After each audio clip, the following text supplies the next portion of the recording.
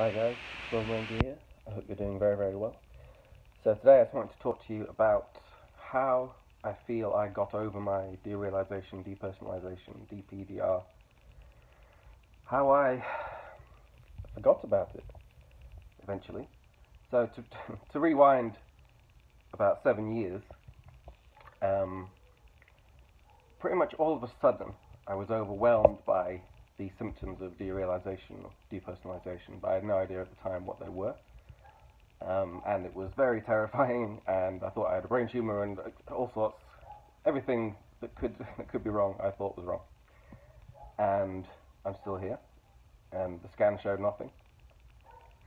And so, without meaning to trivialize at all the depths of horror that and hopelessness that derealization, depersonalization, DPDR can induce on people, and indeed do, um, I would like to tell you how I believe I got over it or changed my relationship to it at the very least.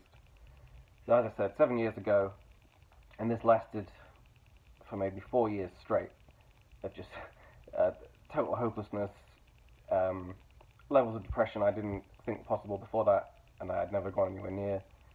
Um, suicidality eventually, and then for quite a long time. Just extreme agoraphobia, um, becoming closed and, and shut off and strange around people. And after a long time, I started taking Valium for all this, and I was living in East London. a very stressful job, wasn't in a relationship, didn't like the people I lived with, um, and they were the ingredients, along with the severe panic about the whole thing, for the zenith of the feeling, for the height of the feeling, um, which is total chaos and hopelessness and depression. Um, so, for me, I really had to get out of the big city, which was London, uh, because it was so stressful and stimulating and anxiety-inducing and polluted and full of young, attractive women. Um, that how can one not be anxious there? The noise alone would, would make make you anxious, and uh, I, well, at least until the derealization depersonalization didn't uh, came along. I could not function in London or as a teacher without Valium, and have made lots of videos mentioning that, including my most recent one and my most popular one, which I made a few years ago. Um, so getting out of London, meeting someone and developing a stable relationship also really helped. I was I was dating a lot in London. Uh, it was very it was sort of fragmented. Um, I guess it sort of incentivizes that kind of culture when you, especially when you're young and single. Bumble, Tinder, and you know, meet some friends off that, have some fun off that, uh, have some horrible complications off that. Um, whatever you whatever you have had from that. It's anxiety inducing. It's exciting as hell going dating all the time, but there's no substance or meaning to it really, and so it's anxiety inducing, and you need a few drinks or a few blue tablets or or whatever it is you need there's no stability, and someone that you meet and you think you're going to spend the rest of your life with, they might choose to stop talking to you the next day, and vice versa. And You inflict that on someone else, and you feel the guilt of that, and all of it, all of it adds to the broth of unease and general despair and meaninglessness, which, which are manifested in the derealization, depersonalization experience. It is a bit of a chicken and egg thing um, a vicious cycle. Um, also, for me, bizarrely, to stop to stop playing in a band and performing late at night um, seems to really help as well. Because once the burning passion fades a little bit with music or any kind of artistic endeavour that's costing you huge amounts of energy and money, um, you have to be re- as soon as it goes a little bit, it becomes a chore, and then it becomes a big chore, and then it becomes so bad, um, or it can do. It goes from being joy to hell.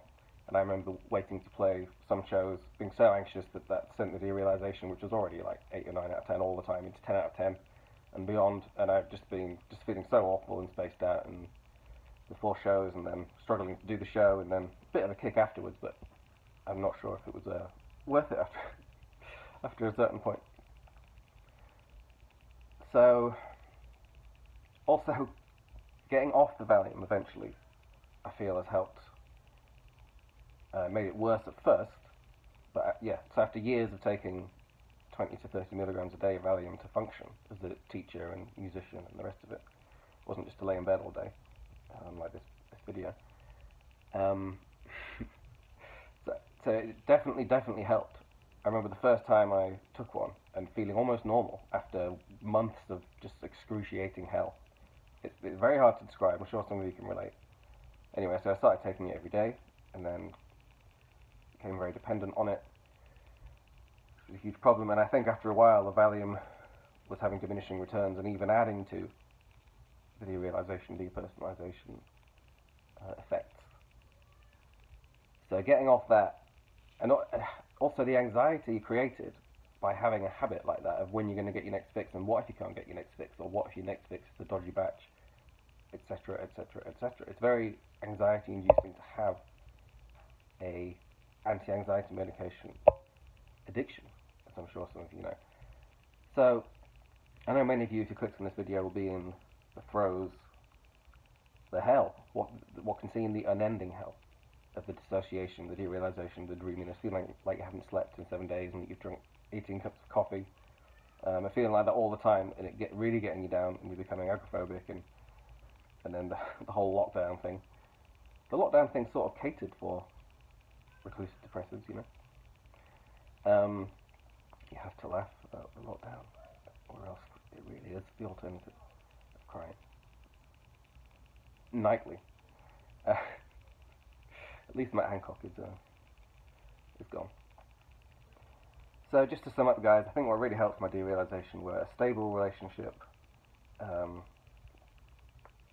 moving away from London in my case, moving away from a huge city, stopping the fragmented relationships of sort of regular dating and casual things and trying open things and and all that for me was a matrix of anxiety.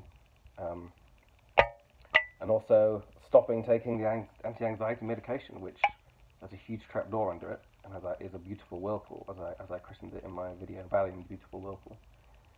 Um, I think if you can do all those things, guys, live in a more peaceful place, try and get a stable relationship, worth having a job that you some at all like helps. Um, sometimes I've been able to do that last year, work in schools. Sometimes I've been shut by the government. Um, hopefully that won't happen again, but I don't put anything past them. And um, the last thing I would say was try and choose your news sources carefully and then try and limit how much news you take in each day. Because anything that triggers anxiety will trigger your derealization. Um, you may also be someone who needs some medication, like a low dose of sertraline, antidepressant, or citalopram, the antidepressant. Um, can also help just stabilize your mood and reduce the anxiety and, and make it easier to function and get out, get out of bed. Also, it's try and just stick to your own frame of reference. You might say you, need a medication to someone, an antidepressant, and they send you a link of Mikhaila Peterson saying like how all medication's like bad and how like her ankle is as bad as like being in like Guantanamo and anyway, yeah, only you know how you feel and only you know what you need with, with some help from your doctor. And I will sign out with, you'll be okay. Remember that. Derealization, depersonalization isn't fatal. You'll be okay. Alright, playlist below guys. Bye bye.